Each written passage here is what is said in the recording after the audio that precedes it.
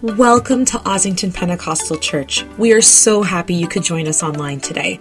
Our service is just about to start, but before it does, let me share with you some of our announcements.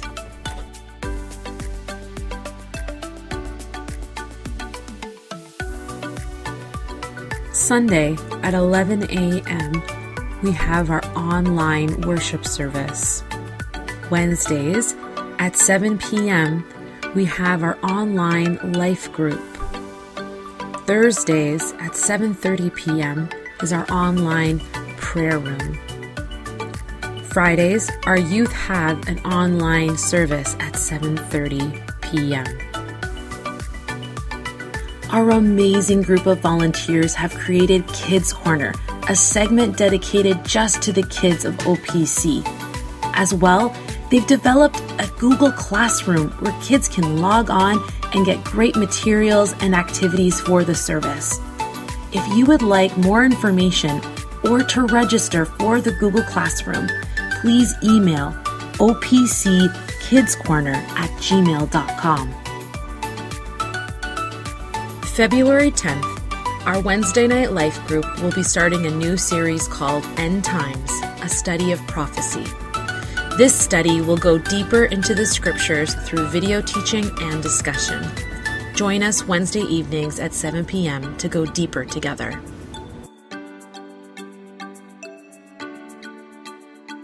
Please visit our website daily for more news and updates and to connect to our services.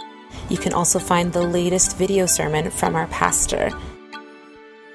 Our website is also a place where you can give your tithes and offerings. Go to giving, and from there, it'll give you instructions on how you can give a bank e transfer, give your tithe by credit card, or by mail. That's all the announcements for today. We want to remind everyone to please keep your mics muted and your cameras off until the end of the service. This will help us out tremendously in ensuring a smooth flow during our online service. Thank you for all your cooperation. Now, let's turn it over to Pastor David. Praise the Lord. What a beautiful day the Lord has given us with the beautiful sunshine outside, nice white, fresh covering of snow to make everything look perfectly clean. And I trust that you're really blessed of God today. And it's a great day for us to come together and rejoice in His name. I look forward to worshiping with you today, to celebrating the goodness of God and the love of God. I trust that you're all celebrating together God's presence as we gather for this gathering in worship of our Lord Jesus Christ. We're going to pray and ask God's blessing on us today, and then we're going to go listen to our Kids Corner this morning. I believe that the Kids Corner this morning is Josh De Silva, who has prepared for us today. And so we're going to look forward to that. But let's just ask God's blessing on us today, shall we, as we open and begin this time together in our service. Heavenly Father, we thank you this morning for the precious name of Jesus Christ, the greatest gift of love, your Son, our Lord and Savior. We ask today, God, that each each person that's listening to this program, each one that's joined us together, will hear from the Holy Spirit today, whether it's through the Kids Corner ministry, whether it's through worship and song, whether it's through a prayer that's offered up or the preaching of the word. Let everything that is done be used by you, O God, to bless, to edify, and to strengthen your people, and to touch our hearts and draw us ever closer to you. Now, Lord, we commit this service. We ask that you be with those that are working in the background, in the tech- technical side of things, and just help us, oh God, to lift up the mighty name of Jesus and give him glory today. We ask these things in Jesus' precious name. Amen and amen. Now we're going to listen to Josh as he teaches from the Word of God to all of us today. God bless you, Josh. Hi, kids. I got another awesome lesson for you guys today. I have these glasses here, and I'm going to use them to show you how God and His Holy Spirit help us see and recognize things when we can't see with our physical eyes, and how He helps us see more clearly. Ephesians 1, verse 18 to 19 says, I pray that the eyes of your heart may be enlightened, so that you will know what is the hope of his calling, what are the riches of the glory of his inheritance in the saints, and what is the surpassing greatness of his power toward us who believe. So, kids, what do you think Paul means when he says the eyes of your hearts? Do you think he means your normal eyes? The eyes that you use to see what's in front of you? Well, the eyes of our heart do not help us see the physical world around us, but they do help us know and understand in our hearts about the things of God and His kingdom. 2 Corinthians 3, verses 15 to 16 says, Even to this day, whenever Moses is read, a veil lies over their hearts. But whenever a person turns to the Lord, the veil is removed. This verse talks about a veil. But what is a veil? A veil is something that keeps us from seeing like this.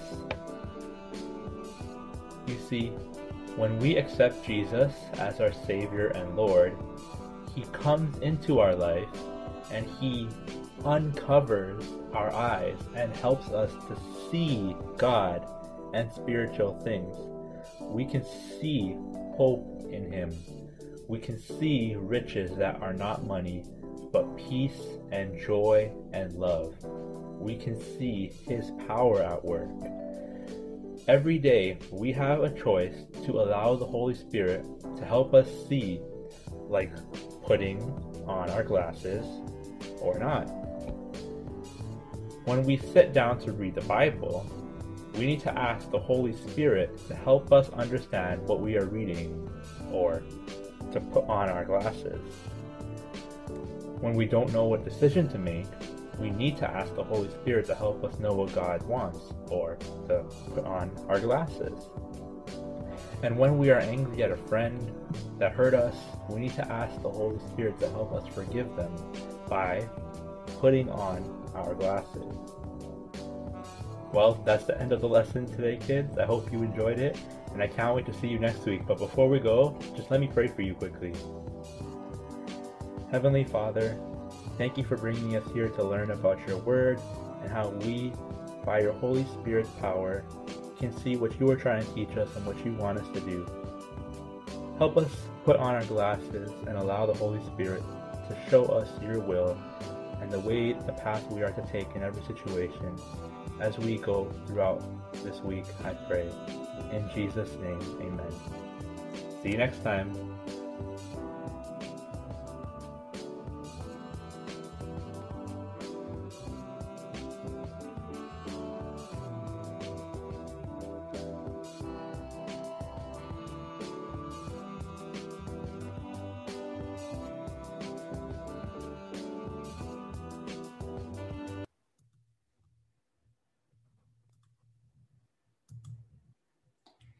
Praise God. Thank you, Josh, for that wonderful lesson. And it and it's the work of the Spirit as He open our eyes to see God and to understand with our spirit. And we we pray that each and every one of us seek that from every day of our lives as He continues to lead us into the deeper understanding of who He is.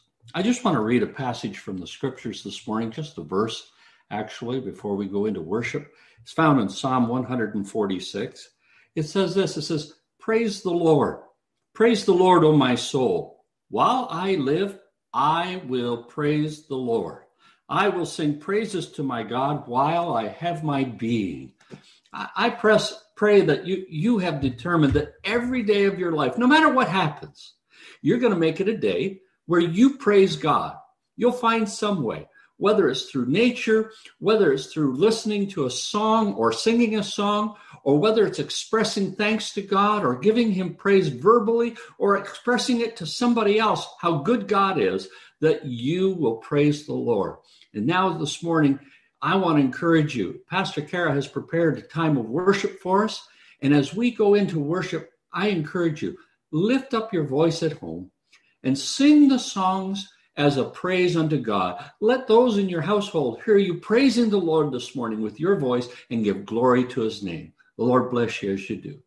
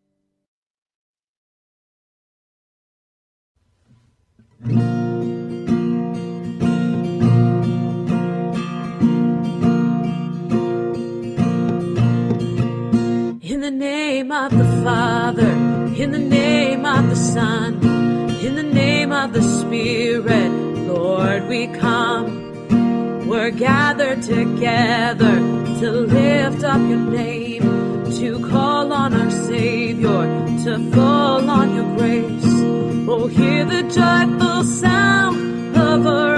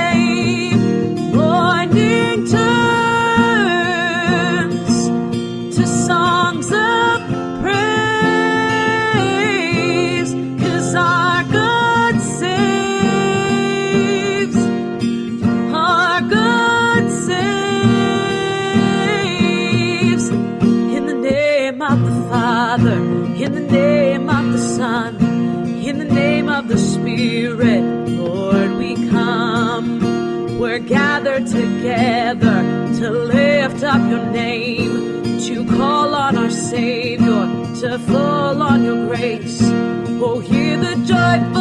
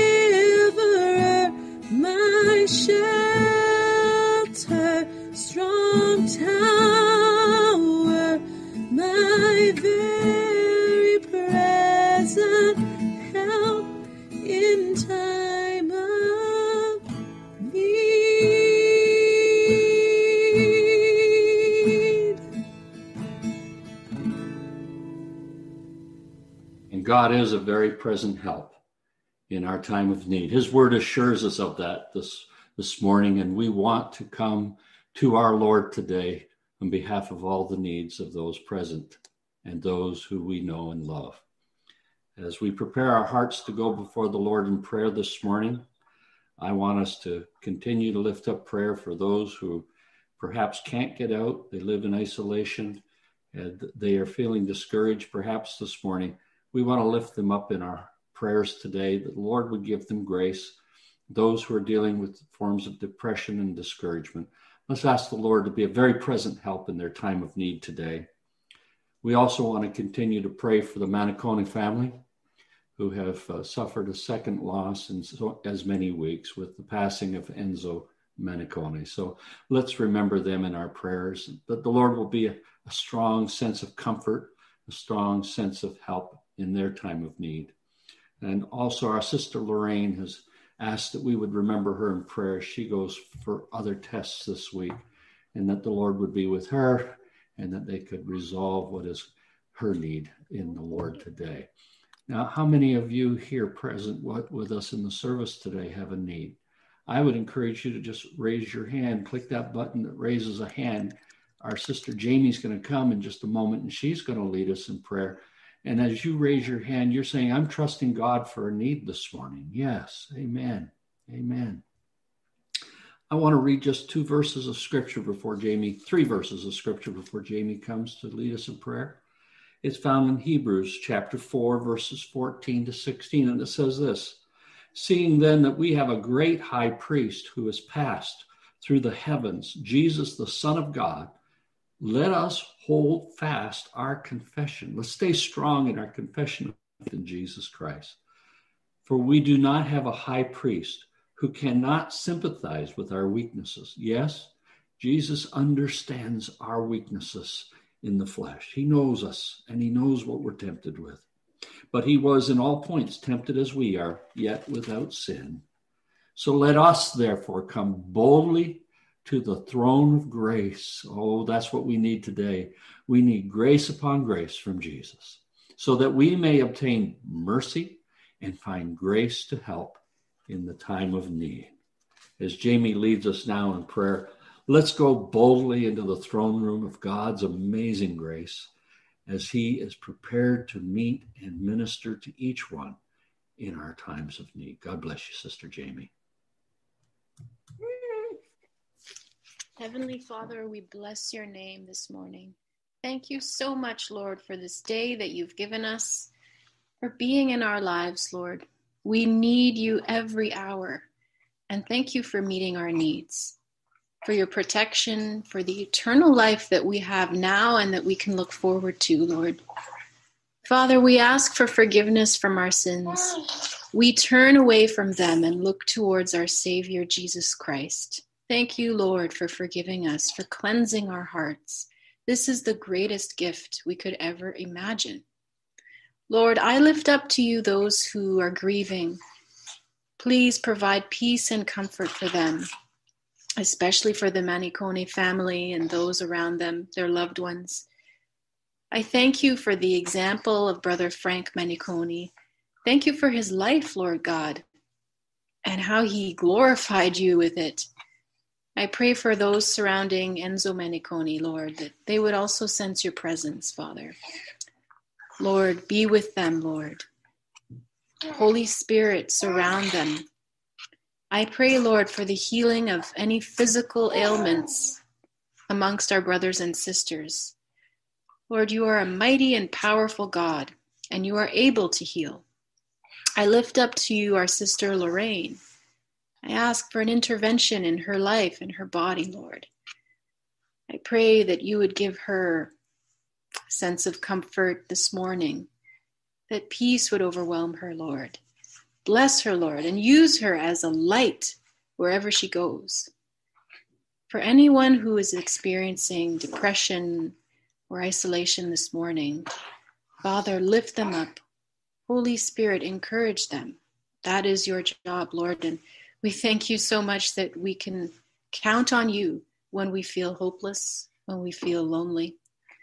We bless your name because you are such a good God.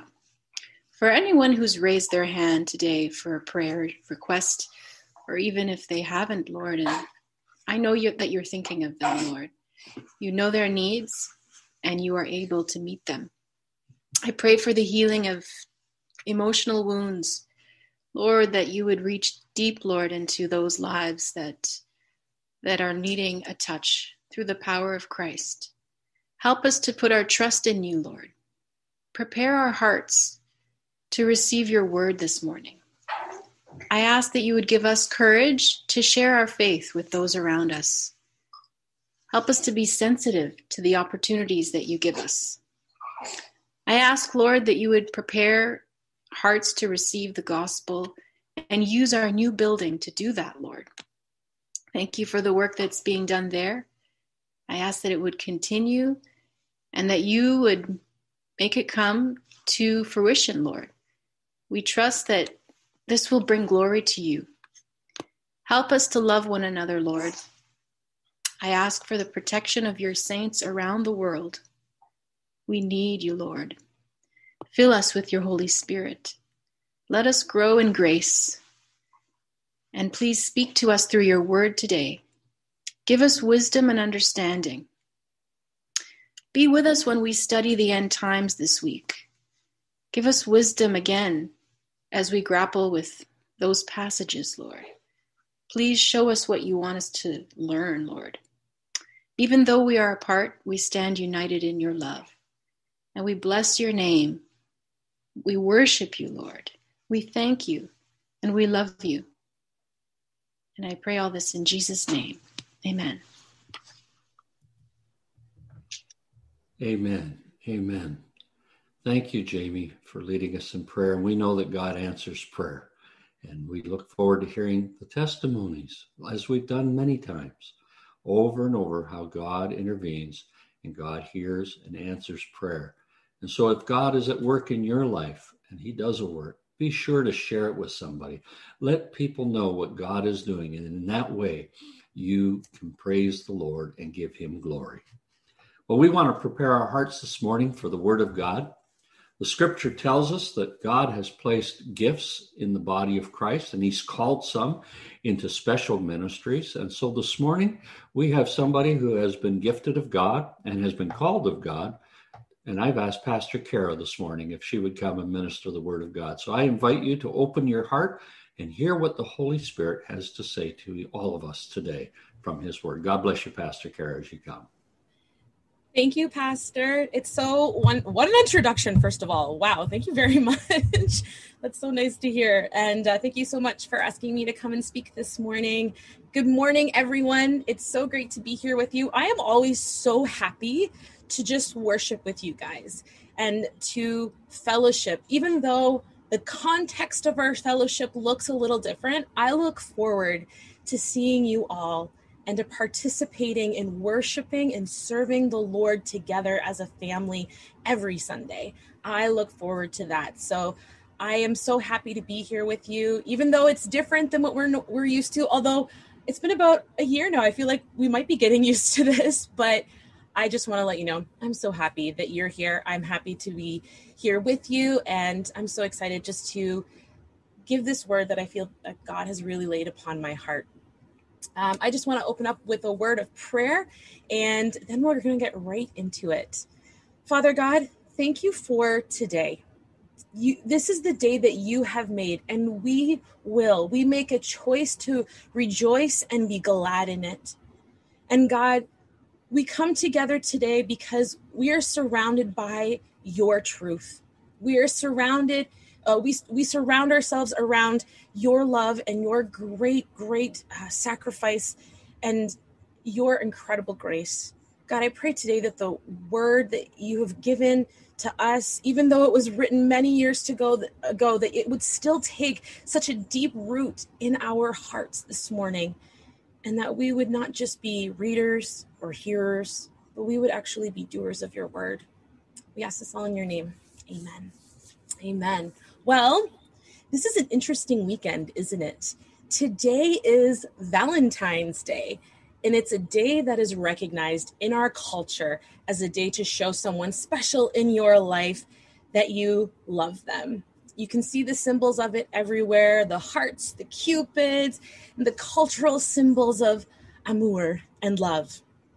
Also, it's Family Day tomorrow yet another wonderful celebration. It's a holiday where we're we're we're supposed to think and spend time uh, with our families. We're supposed to see how valuable that is and to put them first and to just take a break from work and focus on our families. In fact, we've also included this week with our email announcements, we included a parent's planner which is something that you can do as a family. It gives scripture verses, it gives you challenges to do as a family every day for 2021.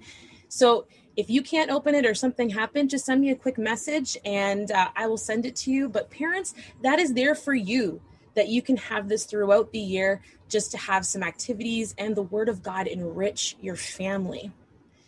So even though this is a newer holiday that we now uh, celebrate together, it's still a really great time where we can focus on spending time with one another as a family.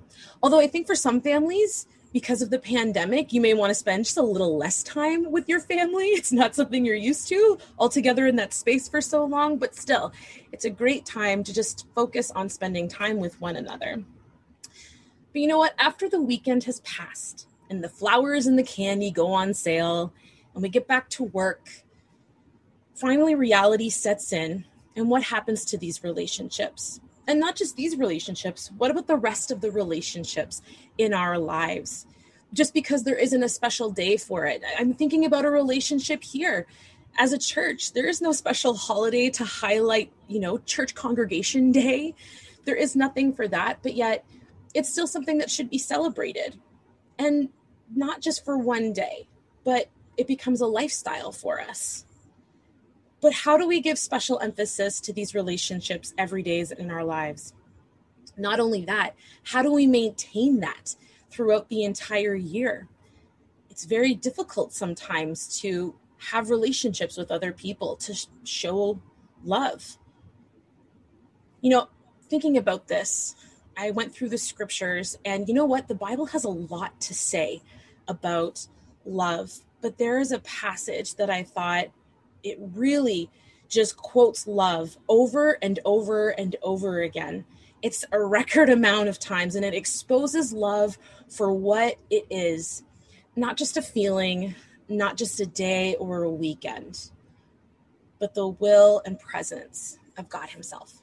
So, with that, I'm going to invite all of you to turn to the book of First John, and we're going to be reading from chapter 4, starting at verse 7. If you don't have a Bible, which I really hope you get one, the words will be up on the screen for you. It says this Beloved, let us love one another, for love is of God, and everyone who loves is born of God and knows God. He who does not love does not know God, for God is love. In this, the love of God was manifest towards us that God has sent his only begotten Son into the world that we might live through him. In this is love, not that we loved God, but that he loved us and sent his Son to be the propitiation for our sins. Beloved, if God so loved us, we ought to love one another. No one has seen God at any time. If we love one another, God abides in us, and his love has been perfected in us. By this, we know that we abide in him and he in us because he gave us, he has given us of his spirit. And we have seen and, tes- and testify that the Father has sent the Son as Savior of the world. Whoever confesses that Jesus is the Son of God, God abides in him and he in God. And we have known and believed the one of the love that God has for us. God is love, and he who abides in love abides in God, and God in him. Love has been perfected among us in this, that we may have boldness in the day of judgment, because as He is, so are we in this world. There is no fear in love, but perfect love casts out fear, because fear involves torment. But he who fears has not been made perfect in love. We love him because he first loved us if someone says, I love God and hates his brother, he is a liar. For he does not love his brother whom he has seen. How can he love God whom he has not seen? And this commandment we have from him that he who loves God must love his brother also. Love written about in so many ways. Songs speak of its greatness, its beauty, its sorrow, and its pain. Brilliant authors have penned amazing stories and, and moving subject matter around it. And even though we have but one word to sum it up, many languages have multiple words for its multiple meanings. One of those is actually Greek. We could spend several studies just on the word love and the different words that the Greek language uses for it in the Bible. John's authorship of this letter, though, and its contents, is a far cry from the sonnets, sonnets of Shakespeare or any pop lyric, but in it is so much incredible truth and the foundation of what love is here outlines exactly what the love is in its purest, most beautiful form God. You know, John's writing to a group of, of Christians. It's not specified which ones, but he is writing to a group of Christians that are battling um, with this false doctrine that has come into the church Gnosticism, which that in itself, that belief system, that false doctrine attacks the very nature of who Jesus is and what we know to be salvation. In this this letter that John sends to them, he simply puts what it is to be a Christian, to be one who knows and recognizes who Jesus is, what he has done for us, and then how we are supposed to live. Christ loves us, and we are to show love to each other. So simply put, but yet so difficult it seems to live by and to put into practice. Yet, love these days seems as common too as the name Jesus or God Himself. We use it so easily, so frivolously, and, and that's so difficult for us to to see in this world that the word love that has been associated with the purest form of what it is which is God's love for us is now misused just as often as his name is. You know, we did a study actually about the, the foundations of, of life and the Ten Commandments, and the pastor did a great message on what it meant to misuse the Lord's name. And I think that has a very practical effect and, and value to even what we say when we say we love people. Because oftentimes we do a disservice to that love that God has commanded us and that God has stood the example of. So, how do we fix this? How do we bring our love for one another to be just like the words that John describes here in this letter to some Christians? You know, someone once wrote this without a solid foundation, you'll have trouble creating anything of value. What we need is to look at our relationships and the foundation that they are built upon and look at and apply it to what John is speaking about. That we would love the way that is described here, that we would love with the love of Christ. And where that foundation is built is in Christ Himself. Let's look at our families, for example. You know, today is Valentine's Day. So a lot of uh, husbands might be out there and have been doing something very nice for their wives and wives you may have done something very nice for your husbands and i know maybe some some moms and dads have done some special things for their children and that's wonderful it's great to celebrate the love that you have for each other and it's so great to see that there's an expression of love like that but I think a wise person once said, and I, I, think our pastor has mentioned it, and it's been mentioned by many others. It's every day should be like Valentine's Day. Uh, you should treat each other with such love and and want to do such nice things for each other all of the time. You know, there are actually scripture verses that talk about the family unit. They talk about how we are supposed to love one another. In fact, Paul highlights it when he talks about how wives are supposed to submit and honor their husbands and how husbands are supposed to love their wives like Christ loves the church. That's right. The structure of the family now being like how Christ loves the church. That example that is supposed to be set. It's not one of just uh, emotions and it's not one of just feelings and it's not one that's just celebrated once a year. No, it's brought about by a very sacrificial love. And like Paul says, it's supposed to be comparative to the way that Christ loves his church and leads his church. You know, the Bible also speaks of how we're supposed to honor our parents. We're supposed to honor them and and be and this was perfectly displayed by Christ himself when he humbled himself and gave honor and glory to God the Father. He gave the example of love that we are supposed to have in our families. Love, honor, submission, and respect. You may think, well, what is there? What what example can I use to understand what we're supposed to love like in a family?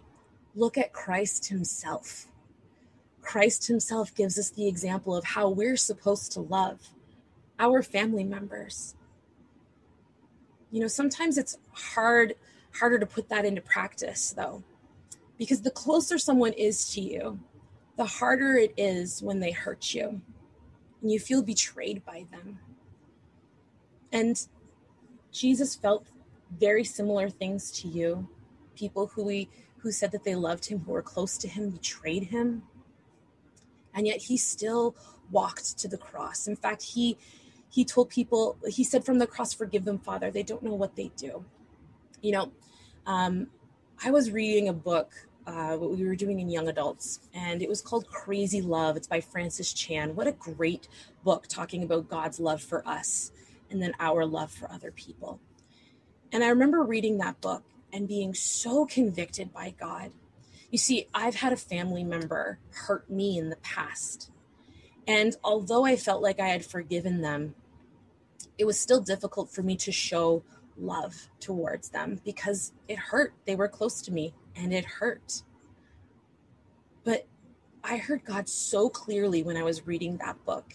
He said, You know, you feel love and compassion for strangers on the street, but you don't have that same love for the family member, for that family member that hurts you. And I felt so clearly that day that love isn't just about people who treat you well. And it's not just about loving the stranger on the street and having compassion for them in Jesus' name. It's also about loving your family that way. A love that is so strong that even if they have hurt you, you're still supposed to love them the way that Christ loved you and commands you to love one another. It's hard it's difficult but whenever i think about how people can hurt me and my family and and, and it aches me down to my heart and i don't want to discredit any type of hurt and pain that you may be feeling but i can tell you something there's so much freedom in just forgiving and loving them with the love of christ getting back to the fact that i hurt god every single time i sinned that even before christ loved me that's what John wrote about. You know, before before everything, Christ loved us and sacrificed for us. Christ didn't ask for an apology. Christ didn't ask for for us to be perfect. No, he said, "I'm going to love you, and through that love, it will, it will be perfected." Oh man, getting a hold of that truth in my life, I cannot tell you how much joy I felt in that moment. You'd think that you'd feel pain, but no, there was just so much joy. And I bring that now to every time I feel difficulty. When family drama comes up, when hurt words are said, I come back to the fact that I'm supposed to love my family members, the closest in my life, the way that Christ loves me. How are you loving your family members today? It's Valentine's Day, and it's a great day to express and go over and above sometimes. But every single day, how is this love pouring out from you to your family? Is it like the love that Christ has given you? The next relationship that I want to talk about, and that is really centered upon this entire scripture verse, is our love for each other as Christians. The love the church should have for each other is truly unique. In fact, although the principles of this apply to every relationship in our lives, this is specifically the relationship that John is addressing. It's the relationship that we are supposed to have as the body of Christ. First John 3:11 says this, "For this is the message that you have heard from the beginning." That we should love one another. John is actually drawing back from what he said in the Gospel of John, which is what Jesus said to the disciples. In John 13, 34 to 35, he said, Jesus says, A new command I give to you, that you love one another as I have loved you, that you also love one another.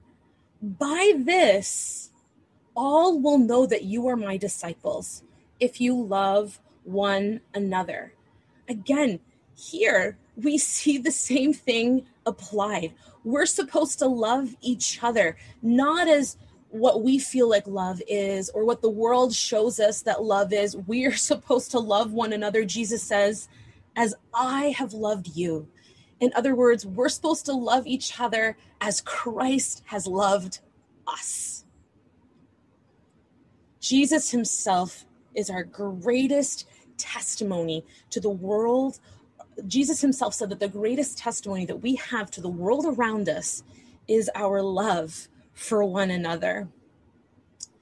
You know, reading this passage and going back to it and reading this whole chapter on love, I started thinking to myself, you know, we put a lot of time, effort, planning, funds into ministries, outreach, evangelism.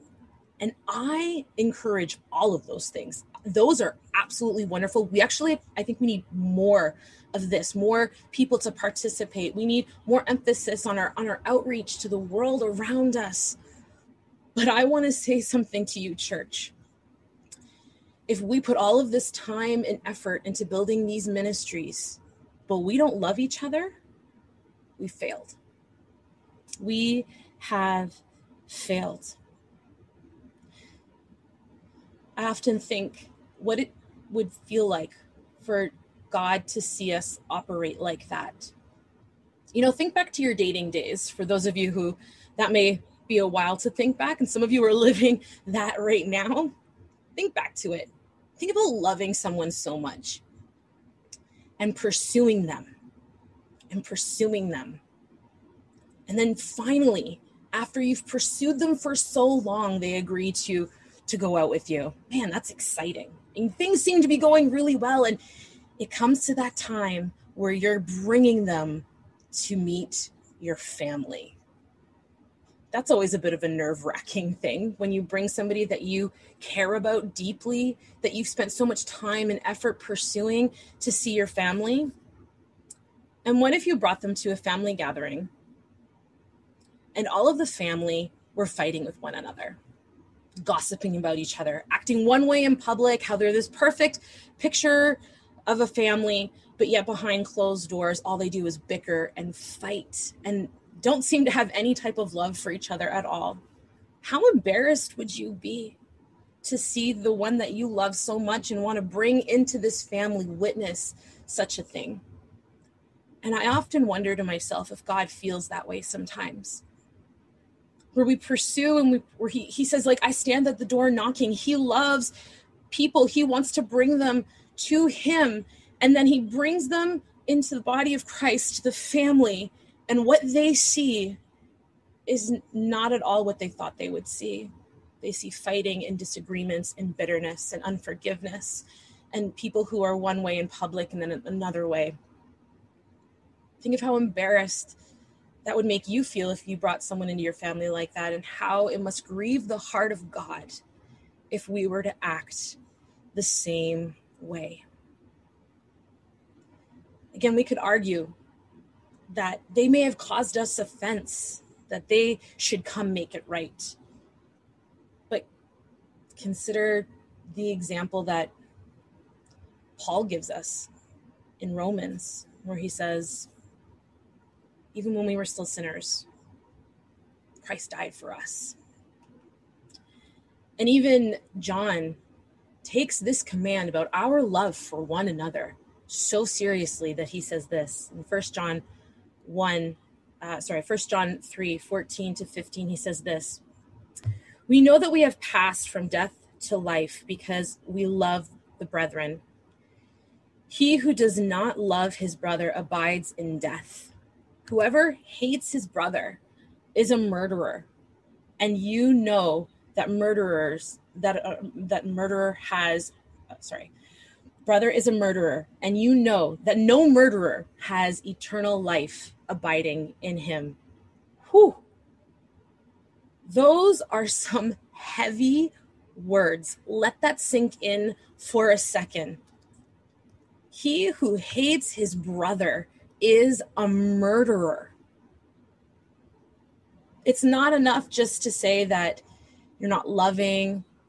No. The context of your mind that you think when you think of murder is the same as when you say, I hate my brother or my sister in Christ.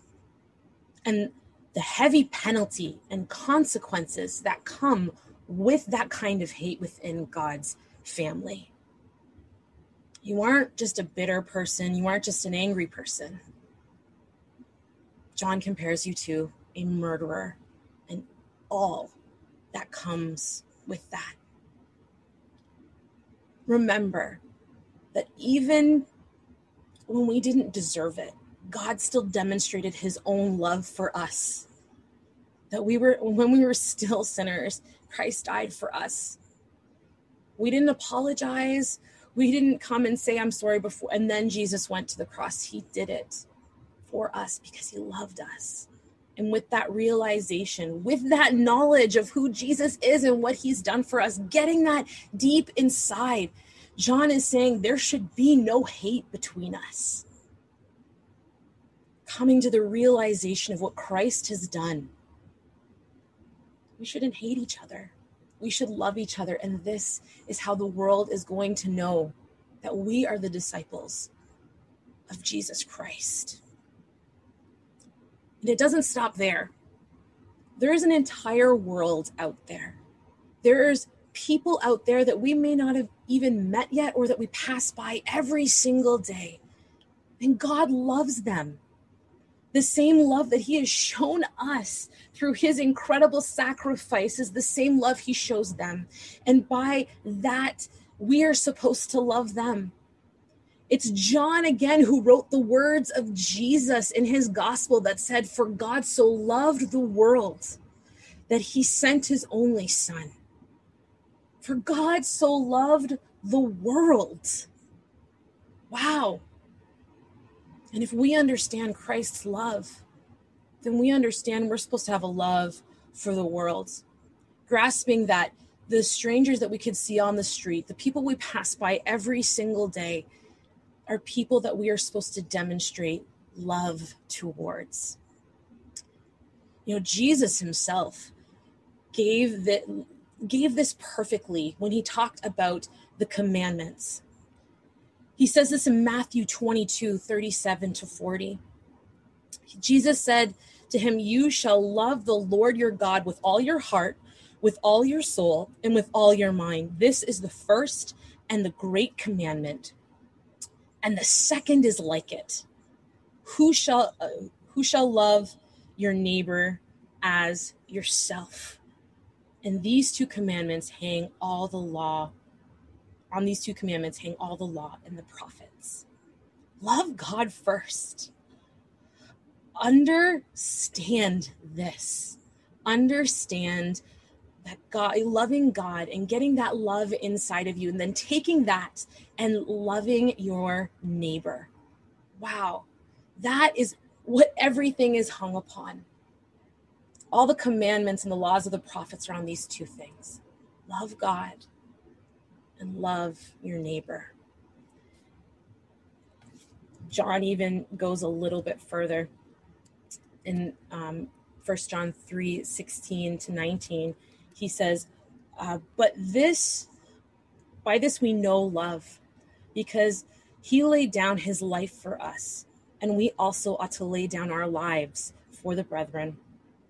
But whoever has the world's goods and sees his brother in need and shuts up his heart from him, how does the love of God abide in him? My little children, do not let us not love in word or in tongue, but in deed and in truth. And by this we know that we are of the truth and shall assure our hearts before him.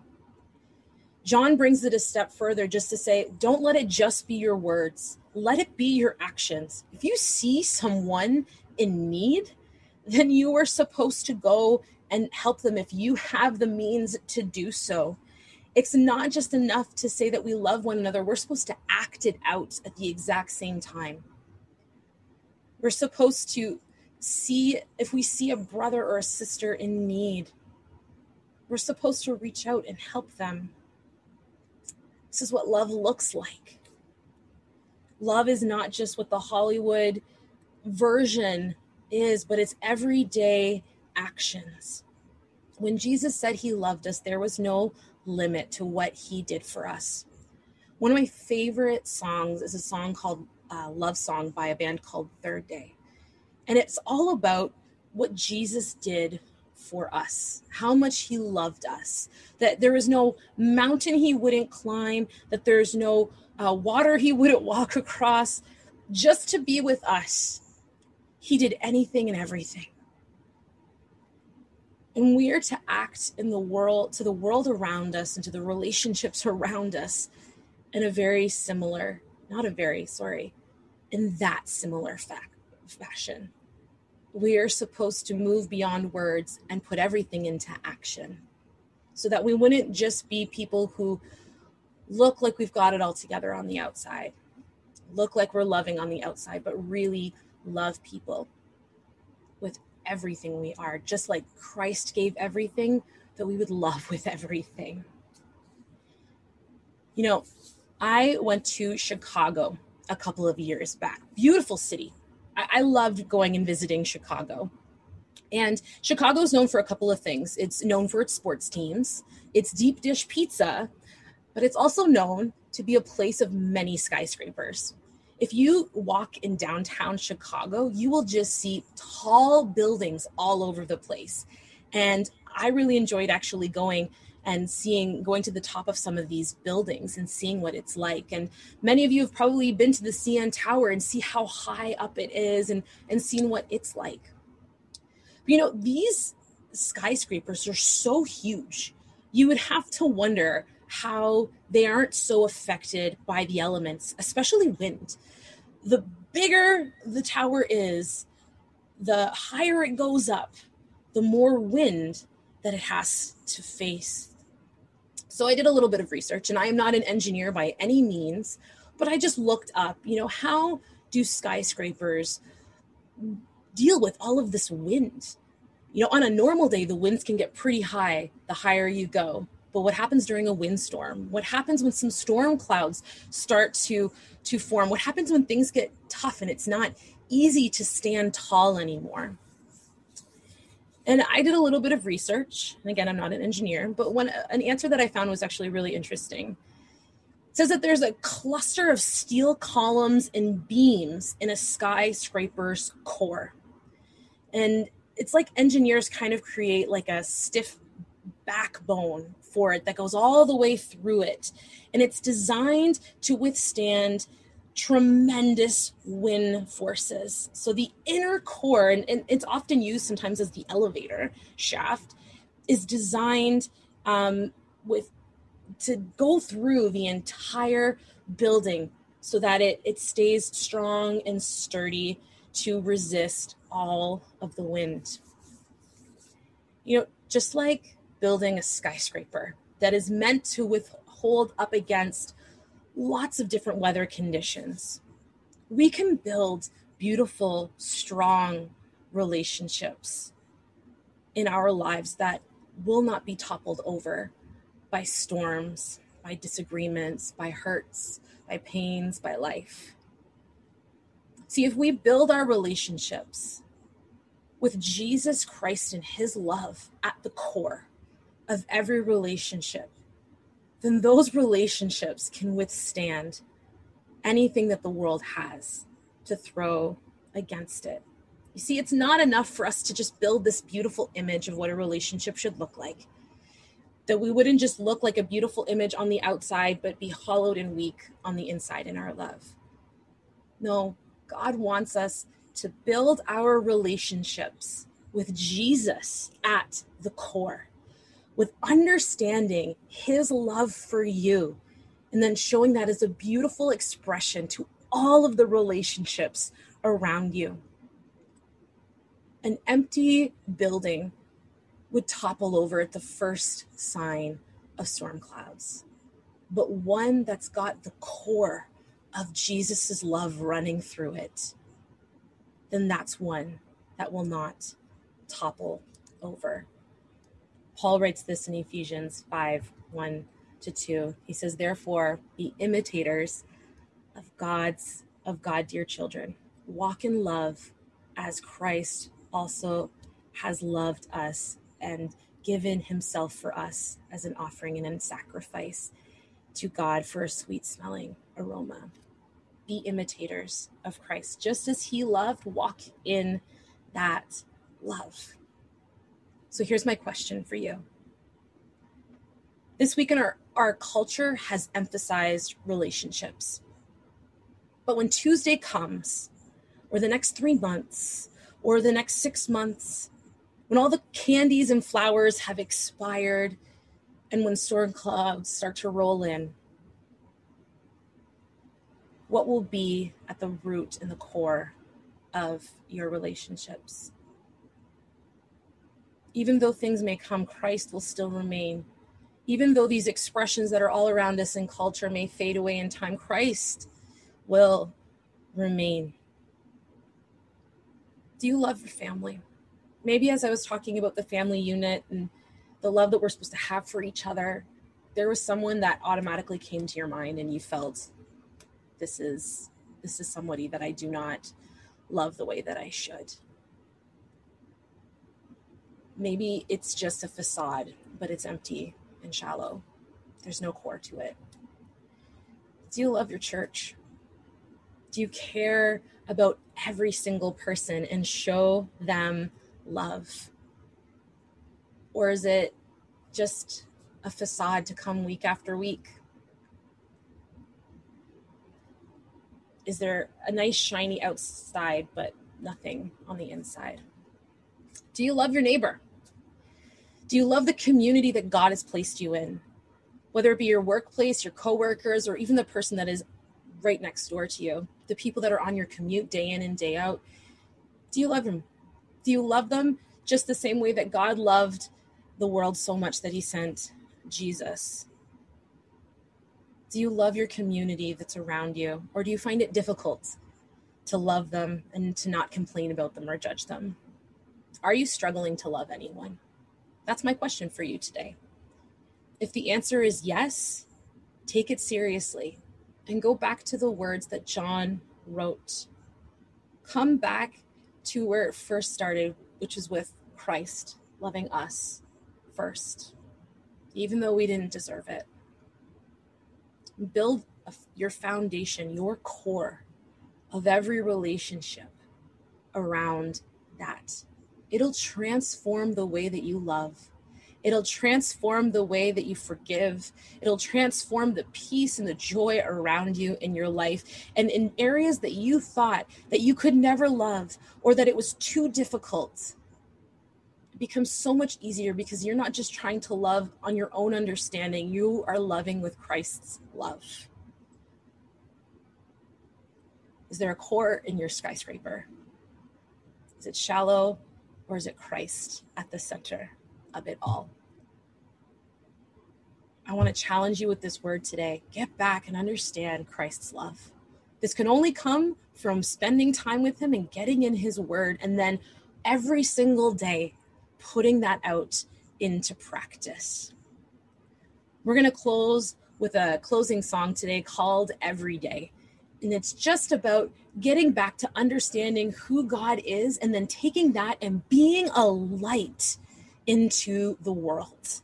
And that's my challenge, not just this weekend to show love, but every single day, show the love of Christ in every relationship around you. Let's just let this this closing song minister to our hearts and challenge us today.